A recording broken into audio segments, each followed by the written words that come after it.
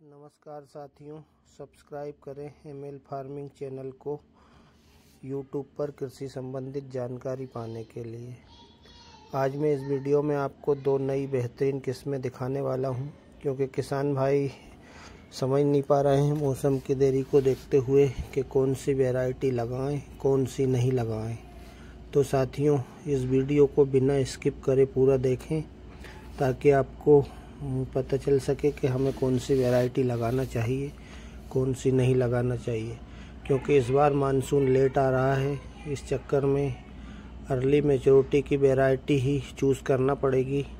तो साथियों, मैंने अपने खेत पर पिछली बार 2022 में जो वैरायटियाँ लगाई थी तो उनमें से कौन सी वैरायटियों का अच्छा परफॉर्मेंस रहा था वो मैं आपको इस वीडियो के माध्यम से दिखा रहा हूँ। आपको दिख रहा होगा, ये दोनों वैरायटियाँ काफ़ी अच्छी वैरायटी है, जो कि आपको 2023 में भी अच्छा उत्पादन देने वाली है।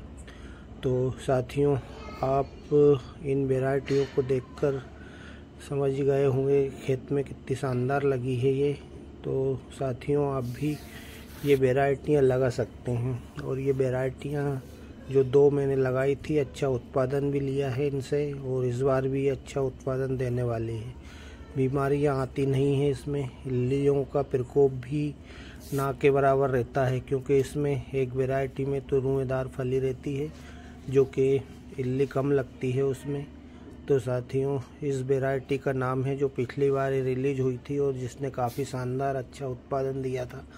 तो उस वैरायटी का नाम दिखा, बताने वाला हूँ मैं आपको।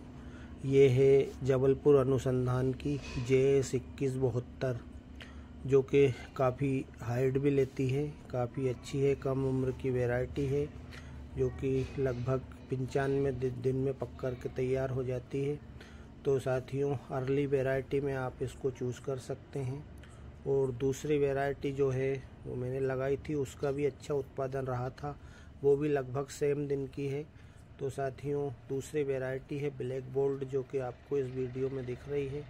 तो आप इस वैरायटी को भी लगा सकते हैं।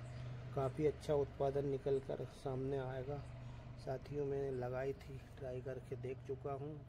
इसलिए आप लोगों को भी सजेस्ट कर रहा हूँ कि आप भी ये वैरायटी ज़रूर से ज़रूर लगाओ